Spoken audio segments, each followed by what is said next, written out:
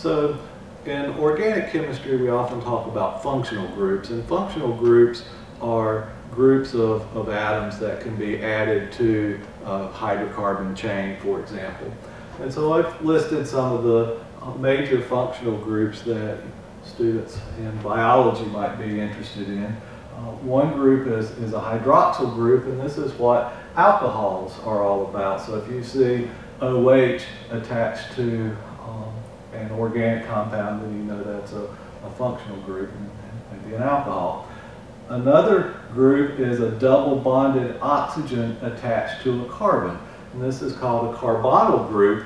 If the double bonded oxygen is at the end of a chain, then that particular uh, substance is called an aldehyde. If that double bonded oxygen is in the middle of the chain or it is not on the end, then that's a substance called a ketone. Then we can have carboxylic acid groups. Vinegar, for example, has a carboxylic acid group attached to it, and that's a carbon with both a double bonded oxygen and a hydroxyl group attached to it. Then there's a group called an amine group, and that's a nitrogen with two hydrogens attached to it.